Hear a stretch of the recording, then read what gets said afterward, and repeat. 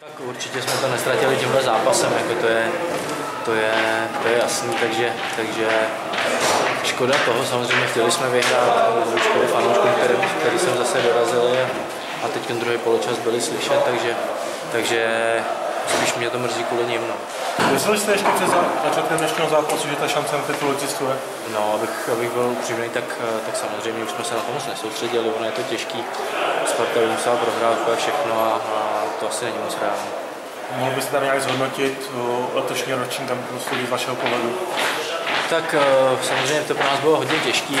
Měli jsme těch zápasů opravdu hodně a ten náskok, ten náskok, který, který si Sparta vytvořila, tak bohužel, bohužel byla velká. Kdyby, kdyby, kdyby to nebylo, nebylo takhle propasný ten rozdíl a hrálo se, hrálo se o titul do posledního kola, tak by to bylo asi lepší pro všechny, ale, ale bohužel.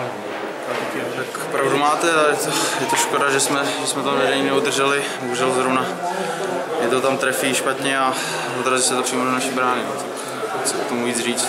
Prostě... Jak jste viděl ten zápas celý? Tak já myslím, že na koukání to asi bylo dobrý. Snad jsme i lidi pobavili.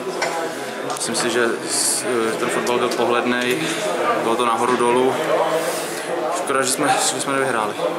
Já si myslím, že to byl vyrovnaný zápas, že Plzeň i my jsme chtěli hrát, chtěli jsme hrát útočně oba dva, dát branky. Dvě tam padly na obou stranách, u nás je škoda, že po naší vlastně vedoucí na 2-1 jsme hned z prvního protiútoku dostali a